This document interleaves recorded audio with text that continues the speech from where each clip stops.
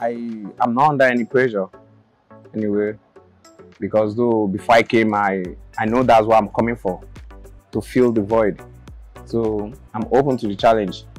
Um, this is my first time playing the NPFL and my targets I'm here to help the team achieve more, got enough appearance in the league and score goals that can help the team go further.